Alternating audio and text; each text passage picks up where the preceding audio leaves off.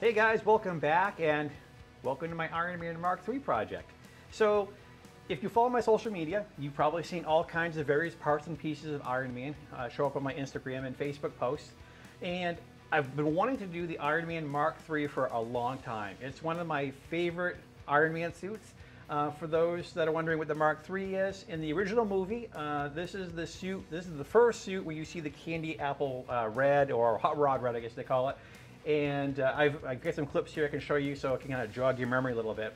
And it's a really sharp looking suit, just like all of them are, but uh, that was the first one. And uh, there are others I would love to do too, but you had to, I got to choose one, so that's the one I chose.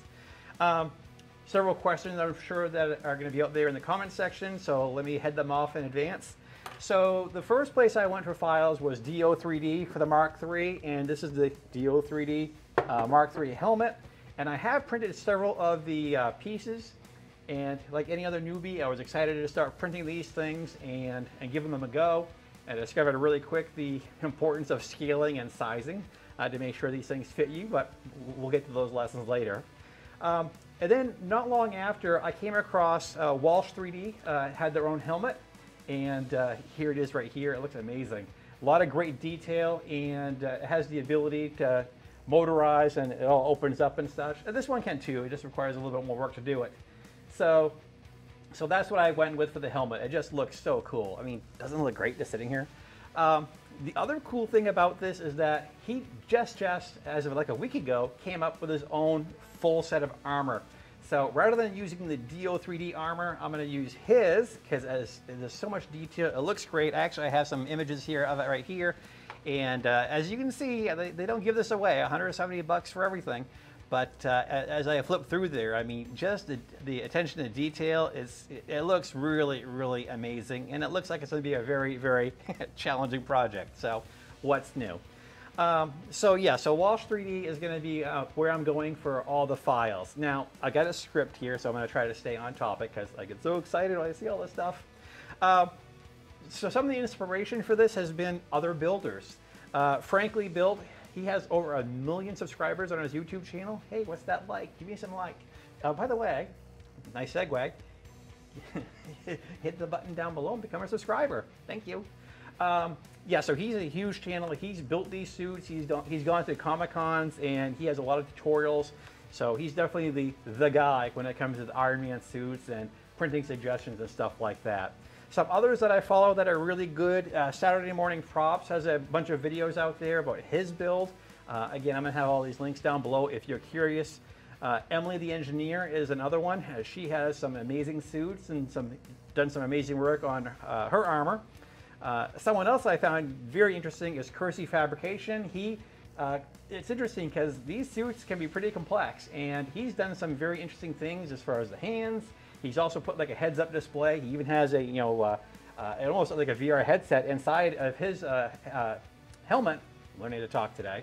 And uh, he's done some really neat things. So what's neat about a project like this is there are so many other people that have done this and you can look at what they've done and learn their lessons. And that's what I'm hoping to do here.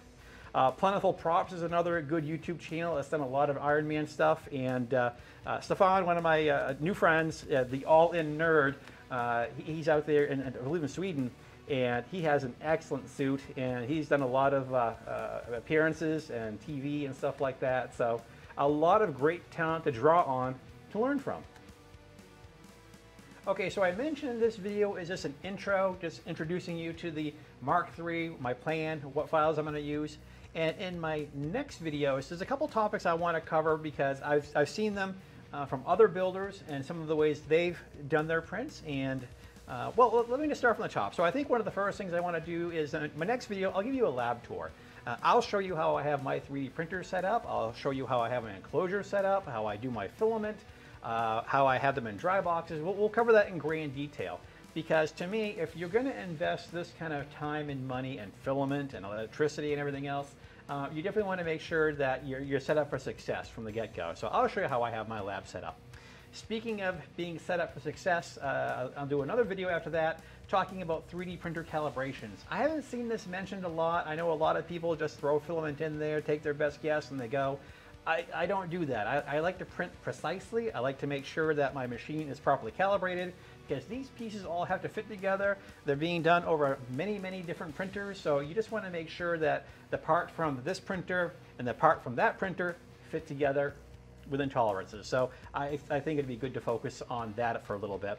Also, I'm going to talk about the materials I use, so uh, what I'm using and why, and uh, we'll move on from there. Uh, the next thing I think will be fun to share with you is I'm still learning this is how to use Armorsmith and Mesh Mixer. Armorsmith is the application we use to uh, load the parts, the STLs into the program. We resize them to fit our body because in Armorsmith we've, we've sized our body and we're using it as a digital mannequin to make sure all these parts are going to fit and, and connect just right.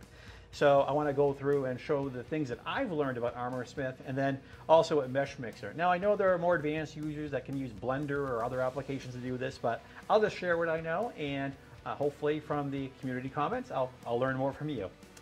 Um, the other big part of building Iron Man is, as you can tell, there are not many flat surfaces. So getting these prints properly oriented in Cura or Simplify 3D or Prusa Slicer or whatever you happen to be using is very, very important. Now my preferred slicer is Cura, so that's what I'm going to stick to because I know, I know Cura very well. So we're going to go into a little bit of details about some of the things that I've done and some of the lessons I've learned with the proper print orientations, as well as I use a lot of tree supports, and that is something in Cura that's still seeing a lot of additional development. So as more features come out, I'll share those with you as well too, because definitely you're going to need supports to do all of these kind of prints. And um, yeah, I've learned a lot in the last year for sure.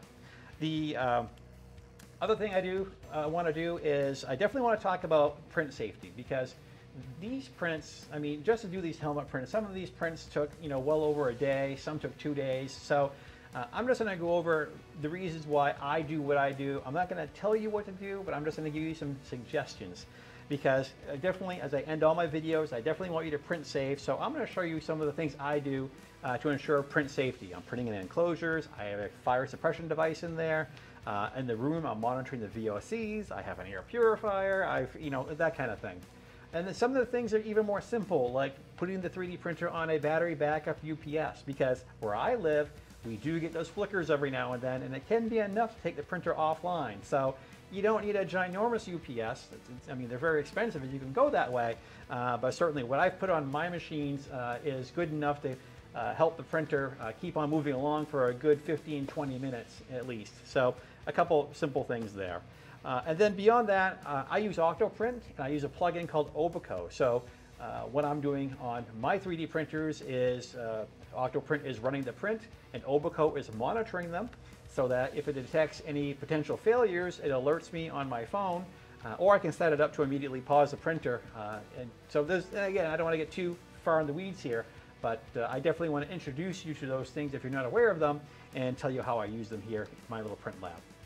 So that's the gist of what the upcoming videos are going to be. I hope you find this video interesting.